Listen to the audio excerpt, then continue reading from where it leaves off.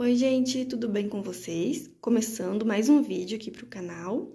E hoje o vídeo vai ser um pouquinho mais curto, mais objetivo, tá bom? Vou passar somente as informações dessa peça maravilhosa. Eu já medi, já pesei ela, tá bom? Então, é uma passadeira que eu fiz sob encomenda. Gente, tá saindo muita passadeira aqui, viu? O pessoal gostou muito dessa base, desse formato que eu tô fazendo. É, quem quiser fazer, é só seguir a videoaula do tapetinho que eu tenho aqui no canal, tá bom? É muito fácil. É só seguir as instruções que eu vou passar aqui agora, tá bom? Bom, eu comecei essa passadeira com 113 correntinhas, tá? Ela ficou pesando 648 gramas, ficou muito econômica, tá? Ficou medindo 1,22m por 44 de largura. Eu achei que ficou um tamanho excelente. A cliente queria mesmo nesse tamanho, tá?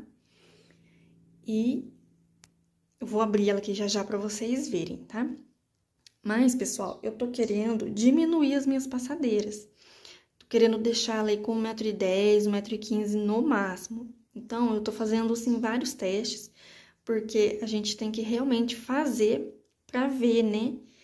No ponto da gente quantas correntinhas vamos ter que fazer para adquirir aquela medida que a gente quer, né?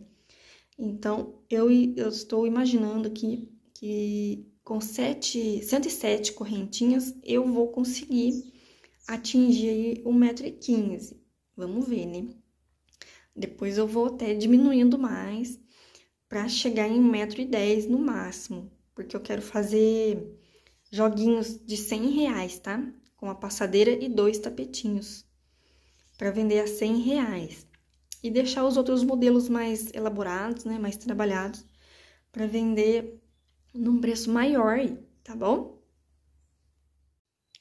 Gente, então eu fiz a base, né, com 113 correntinhas na, nessa base fechada, fiz com duas carreirinhas, fiz sete carreiras de repetição no cru, duas no vermelho mais uma no cru, a carreirinha fechada e o bico. Gente, esse bico é o Mari, tá? Eu tô fazendo ele com duas carreirinhas para economizar mesmo, tá bom?